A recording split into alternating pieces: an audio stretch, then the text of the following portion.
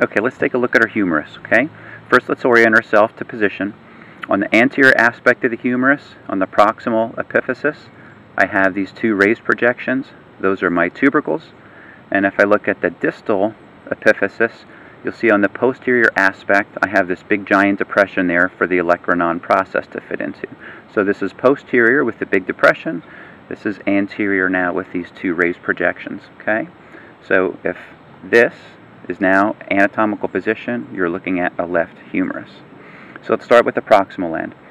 I've got two raised bumps we refer to as tubercles. The greater tubercle is more proximal and lateral. The lesser tubercle is more distal and medial. And right in between those two tubercles, I have a sulcus or a depression. We call that area between the two tubercles the intertubercular groove, right? Inter because it's between. The head of the humerus is pretty obvious. This big, nice, rounded area that's going to articulate the glenoid fossa of the scapula. And then the humerus has two necks associated with it. The anatomical neck is right where you would expect the neck to be, right behind or underneath the head, okay? But the humerus has an additional neck that wraps around the proximal metaphysis, and we call that the surgical neck, okay? So everything on the proximal epiphysis, greater tubercle, lesser tubercle, intertubercular groove, this is my head, my anatomical neck, and my surgical neck.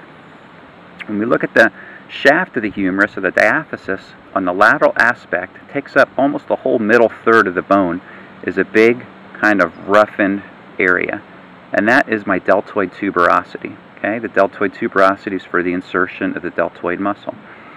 If I look down at the distal epiphysis, this is where I have my condyles and my epicondyles. Now with the humerus, the condyles have a special name.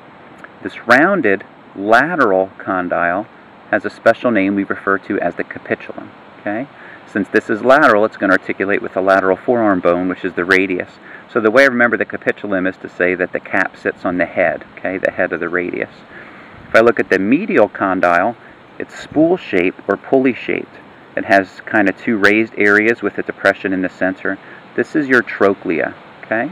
So the medial condyle is called the trochlea. Now if I just go proximally to the two condyles, I have my epicondyles. This would be my lateral epicondyle. This over here would be my medial epicondyle. Okay. On the front, I have a shallow little depression right there. That depression is my coronoid fossa, and that's going to receive the coronoid process of the ulna. If I turn this over and look at the posterior aspect, I have a bigger, larger uh, depression in the back. That's my olecranon fossa, which is going to receive my olecranon process of the ulna. Okay? There's your humerus.